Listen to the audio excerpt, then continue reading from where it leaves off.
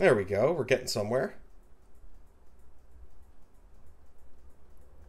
Let's see. What do I want to change about this before I take it all the way to fully in between? Because there's something about how this foot hits right here that I still don't really quite like. There's just something about it that it doesn't really quite feel like it's taking the weight. And I'm wondering if what I want to do is actually to have it come out just slightly earlier. Because it just doesn't feel like it's enough to stop his momentum right now, you know? It's like a little soft. So I'm going to try that. We'll see. We'll see how. We'll see if that ends up being the way to solve that issue. So in that case, what I'm going to do is I'm going to store this pose, and it doesn't matter what you have selected when you store a pose. By the way, it's just you know, uh, it's going to apply to whatever you have selected or to the whole character, depending on your options.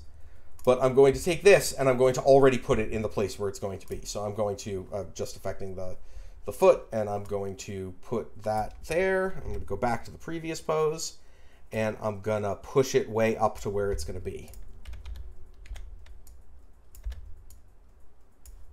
Maybe have that be a little bit less bent.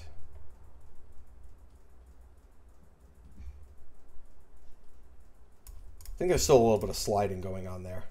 Yeah, there is. That's what I'm gonna what I'm gonna fix. Because I kind of had this idea when I started the shot that the feet were gonna slide, and then I decided it didn't really work. So now I need to get rid of some of the vestiges of that.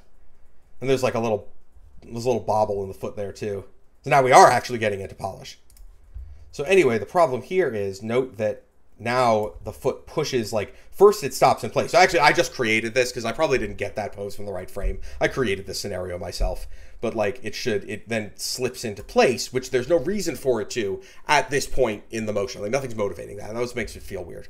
So I'm gonna grab this pose where it's already gone, I think, exactly into the, the full position that it's gonna be in. I'm gonna store that. And then I'm actually going to do something that hopefully won't have any issues because I haven't used this in a bit and I don't remember there was some version where this had some issue and I'm like, mm, hope it wasn't this wasn't this build. Um, so I'm gonna save just in case something terrible happens because we are using like pre-alpha software here, and I'm going to apply stored pose over time which is just going to apply it to all of these keys at once. Yeah, it worked. So now it's rooted in place over those. And I'm gonna probably adjust this a little bit more, maybe. we'll see. There we go. I think that works better. Yeah, much nicer. Now let's take a look at that other foot, which has a little bobble in it too. But like, see how how easy that was, right? You get little issues in your motion, and the ephemeral system just gives you the tools to just correct the issues directly. You don't need to be like, which control is actually making that happen? Which control is like, like, oh, is there like something the splines are doing that's weird, but which spline?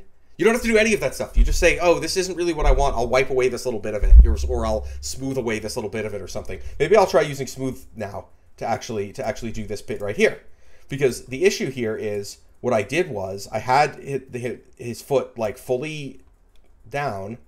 Well, it wasn't really quite fully down. Yeah, I kind of did something a little strange there, but I see what I was doing. I was rolling the foot. It's actually a little. Let me just fix that before I do anything else. It's actually a little in there because it's because that's where it was supposed to be coming to rest, but this doesn't really work actually.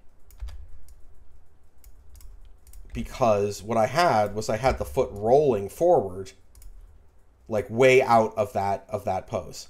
And then that and then that's up being really weird.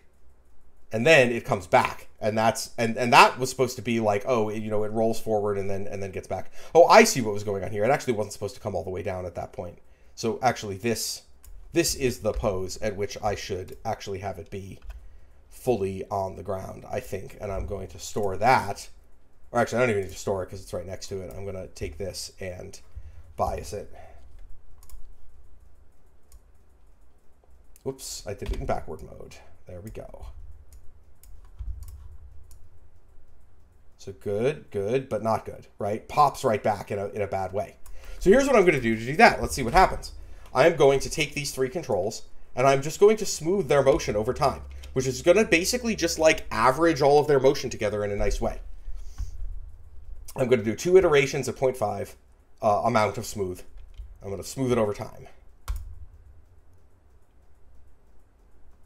And now he lifts his foot a little bit, but it no longer pops.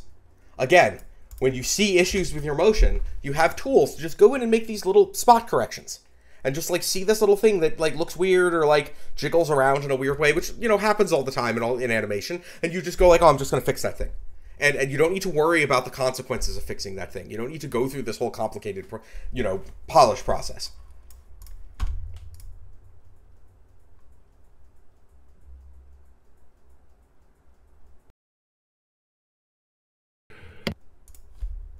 All right, so there's a little bit of a bobble right at the end there.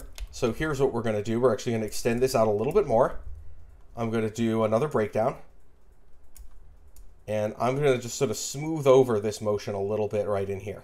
Because like you can see how that hand's bobbling a little bit. Like it's just like there's a little bit of a something not quite right.